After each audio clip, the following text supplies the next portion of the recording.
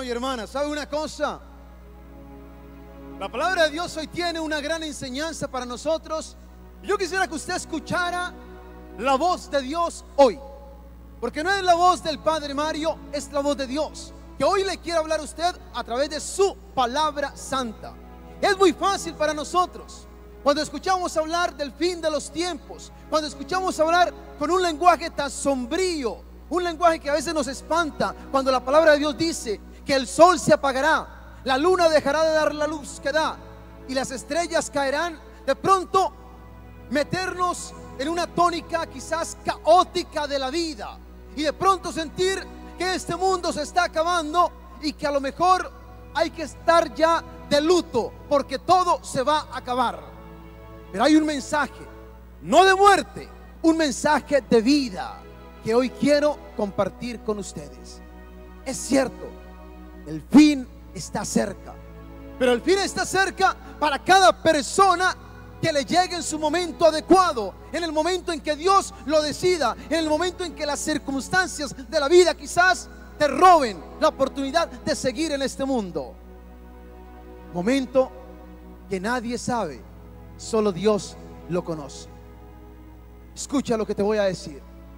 Lo primero que Dios quiere decirnos hoy es, la vida es impredecible. Es decir, lo impensado muchas veces pasa. Lo que menos creemos que pueda pasarnos, a lo mejor nos puede suceder. Estoy pensando en las víctimas en Francia hace apenas dos días. 129 muertos, más de 300 heridos. Un viernes normal para los franceses. Unos estaban escuchando música, otros estaban comiendo, otros estaban disfrutando de la vida, disfrutando de un partido de fútbol. La vida normal, la vida que muchos hacemos y de un momento a otro esas personas ya no están. ¿Por qué hermano y hermana? Porque esa es la vida. Hoy estamos aquí, pero mañana no lo sabemos. Esta semana para mí ha sido bastante difícil y le voy a decir por qué. El martes pasado se celebró un funeral que para mí en los años que llevo como sacerdote quizás ha sido de los funerales más tristes. Un niño de nuestra comunidad se fue. Cuatro añitos. Anderson, aquí están sus padres.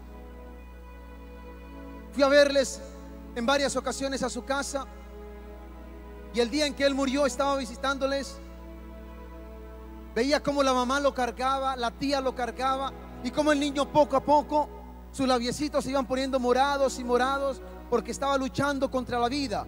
Pero finalmente no pudo y se fue. Y la mamá me dice un momento, me dice, padre, le puede agarrar la mano a mi hijo. Y yo se la agarro y me dice la mamá, el papá me decía también después, padre Mario, ¿sabe una cosa? Anderson siempre quiso ser sacerdote. Y él siempre decía, yo quiero celebrar la misa como el Padre Mario. Y este niño de apenas cuatro años, óiganlo, le decía a la madre, yo quiero ver las predicaciones del Padre Mario. Y la mamá le ponía las predicaciones en YouTube para que escuchara lo que yo decía. Y el niño era como si entendiera todo lo que yo estaba diciendo. Y muchas veces cuando terminaba yo de predicar, le decía a su hermanito, vamos a celebrar la misa. Y él cogía una copita y el hermanito traía un crucifijo y se ponían a celebrar la Santa Misa. Pero para ese niño Dios tenía otro plan quizás. Y ese niño ya no está con nosotros, pero hoy está quizás celebrando la Eucaristía real en la presencia de nuestro Padre Celestial.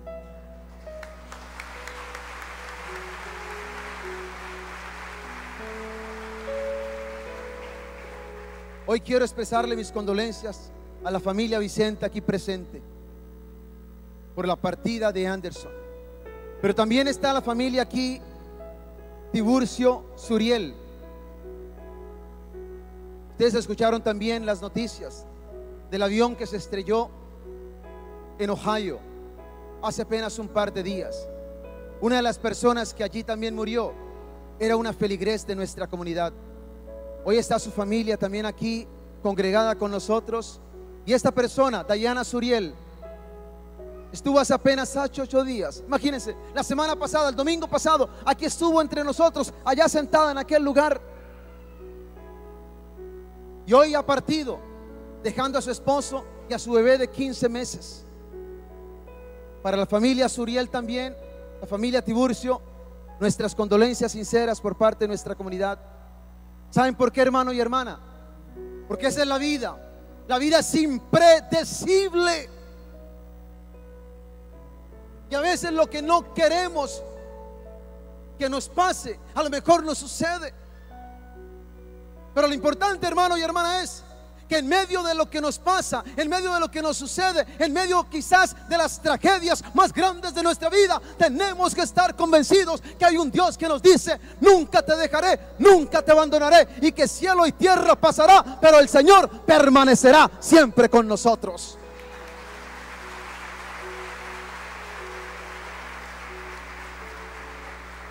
Porque en medio de la vida podemos experimentar quizás grandes tragedias, grandes dificultades. Pero lo último que podemos perder es la certeza y la confianza de un Dios que está con nosotros, aún en los momentos más difíciles. Y hoy Jesús te dice, mis palabras siempre permanecerán. Y las palabras de Jesús son, yo estaré con ustedes hasta el fin del mundo. Porque el Dios en el cual nosotros creemos es el Dios que sabe que somos sus hijos. Y es el Dios que en medio del dolor no nos abandona. Es el Dios que en medio de la tristeza está siempre acompañándonos. Es el Dios que está ahí presente para levantarnos, para animarnos, para fortalecernos y para decirnos, cuenta siempre conmigo. Cuando yo tengo la certeza de que su presencia me acompaña y me sostiene, puedo cargar quizás con el dolor. Y la carga del dolor se hace más ligera porque ya no la llevo solo, el Señor me acompaña en medio de mi dolor. La vida, hermano y hermana, es impredecible.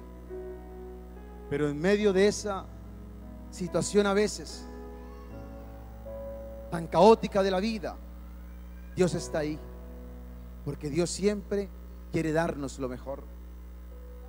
Hay una película que a mí me encanta, que es un film clásico. La película se llama Ben Hur. Quizás muchos de ustedes la han visto. ¿Saben qué me llama la atención? Estaba leyendo el otro día de esta película. Que cuando el actor principal, Charlton Hudson, tenía que aprender a manejar un chariot, que llaman en inglés, que es como una especie de carreta de dos ruedas jalada por un caballo. Y cuando este hombre, este actor se estaba preparando, tuvo que aprender a manejar esa carreta con los caballos para poder correr. Y después de varias semanas aprendiendo a hacerlo, él se acerca al director de la película y le dice, creo que ya aprendí a correr, pero no estoy seguro que pueda ganar. Y él que era el actor principal, el director de cine le dice, tú preocúpate no más por correr, que yo me ocupo para que tú ganes. ¿Sabes una cosa, hermano y hermana? Esa es la vida. A veces tú dices, ¿será que si voy a ganar? ¿Será que si voy a llegar de primero? ¿Será que si voy a alcanzar la meta? Y Dios te dice, tú preocúpate simplemente por correr, porque yo me encargaré de darte la victoria. Yo te sostendré, yo te levantaré, yo te mostraré el camino y yo te revestiré de mi gracia y de mi poder. Hermano y hermana, tú no puedes renunciar a la vida. Óyelo bien, no puedes renunciar a la vida. No puedes darte por vencido. No puedes tirar la toalla. La vida hay que abrazarla y hay que vivirla y hay que mantenernos en la pelea. Estamos peleando, pero estamos seguros que ganaremos la victoria porque Cristo está con nosotros. Esa es la vida. Y cuando tú entiendes que quizás el momento llegará en algún instante, porque nos llega el fin en cualquier momento. Te preguntas entonces, ¿qué debo hacer? ¿Qué puedo hacer? Yo te voy a decir lo que puedes tú hacer y lo que yo puedo hacer. Y escúchame lo que te voy a decir. La mejor forma de prepararnos para el fin es vivir el momento presente y hacer de este momento lo mejor de mi vida.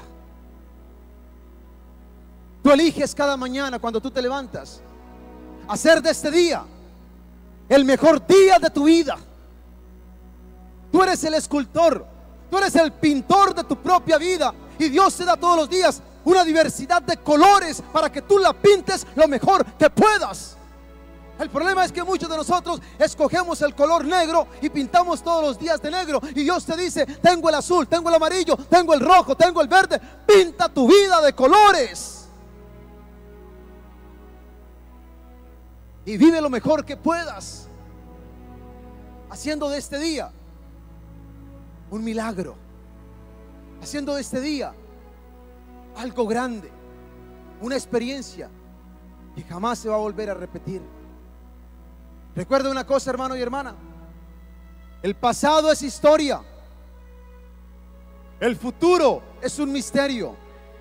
El presente es un regalo. Por eso se llama presente, porque es un regalo. Tú decides qué haces con él. Y lo más importante es que hoy entiendas que si estás con vida y estás en este mundo todavía, es por la misericordia de Dios. No pierdas tu vida en cosas que quizás no tienen sentido. No malgastes tu vida. Invierte tu vida en lo mejor que puedas. Y que el día de mañana, cuando llegue el final de tus días, puedas decir, no me queda ningún remordimiento, no me queda ninguna añoranza, no me queda ningún dolor, porque viví mi vida a plenitud de la mano de Dios.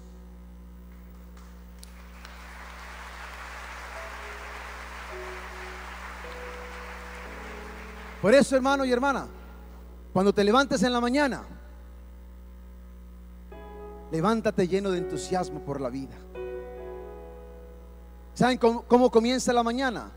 Comienza cuando tú vas a la cama en la noche. ¿Saben qué dice la psicología?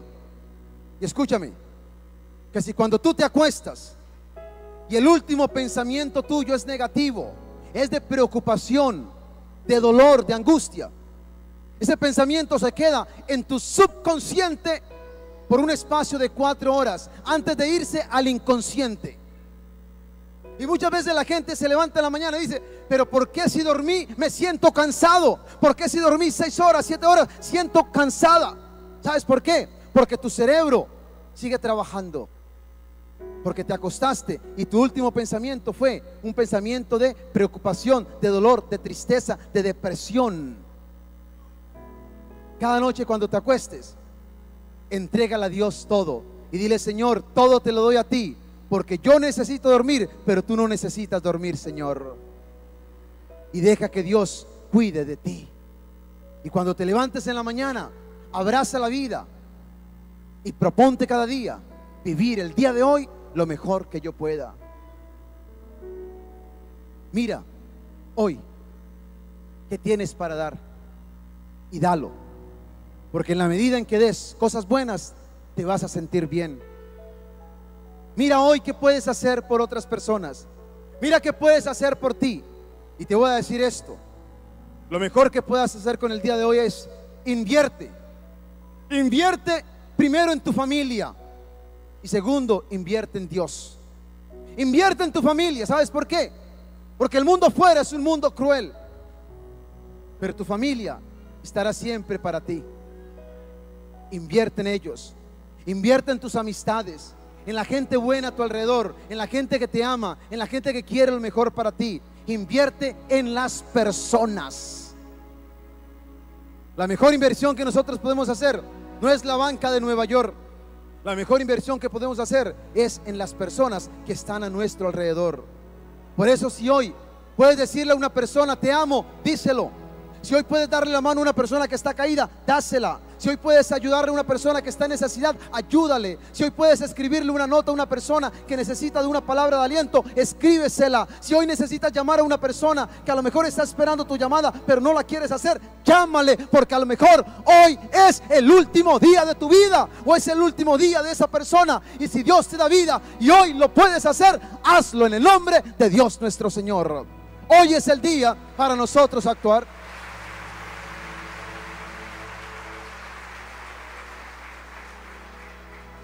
E invierte en Dios. Porque últimamente, cuando todo se acabe y se apague la luz, no nos queda más que Dios. Está bien que otros oren por ti. Está bien que otros crean por ti. Está bien que otros te lean la palabra de Dios. Pero aduéñate de tu fe. Cree por ti mismo. Ora por ti mismo. Lee la palabra de Dios por ti mismo. Y mantén una relación cercana con Él. Porque últimamente es la mejor inversión que puedes hacer. Voy a terminar con un pensamiento que una vez leí. Y creo de una u otra manera sintetiza lo que hoy les he compartido. Escuchen, escuchen. Sueña como si fueras a vivir una eternidad, pero vive como si fueras a morir hoy. Sueña como si fueras a vivir una eternidad, pero vive como si fueras a morir hoy. Y como si hoy te estuvieras preparando para un encuentro grande. Y ese encuentro grande es el encuentro con el Dios de la vida. Que Dios nos bendiga, que Dios nos fortaleza y que nos dé amor para la vida, amor para el día de hoy y amor para las personas que Dios ha puesto cerca de nosotros. Que así sea.